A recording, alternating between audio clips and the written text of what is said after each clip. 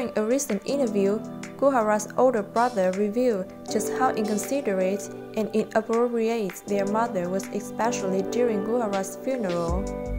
Many celebrities had attended Goo Hara's funeral to pay their respects to their friend and colleague. While people were mourning and devastated by her loss, Goo Hara's mom had gone up to the celebrities to ask for photos. Goo Hara's brother, Goo Ho-in, recalled the incident as one of the many reasons why their mother is inconsiderate and inappropriate during their mourning. Goo Hara's mom abandoned the family when Hara and Ho-in were just children.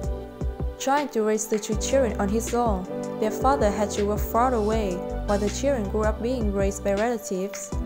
The siblings took on all kinds of part-time jobs as soon as they were able to work in order to provide for themselves. Despite abandoning them, Hara's mom tried to take on the role of a chief mourner at her funeral and tried to secretly record conversations with her son for her legal use. He said, When my mom claimed she wouldn't wear the mourner clothes worn by the family during the funeral, and I told her that it would never happen, she had abandoned us when we were so young but she suddenly wanted to be considered a chief mourner.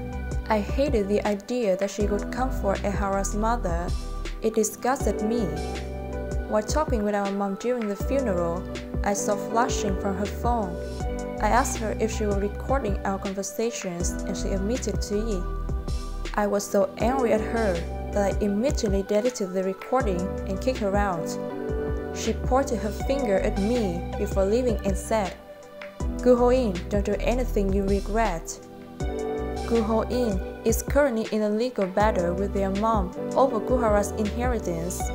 The law claims that Goo Hara's parents will divide her assets in half, but Goo Hara's brother and father both agree that their mother does not deserve any part of Goo Hara's hard-earned money.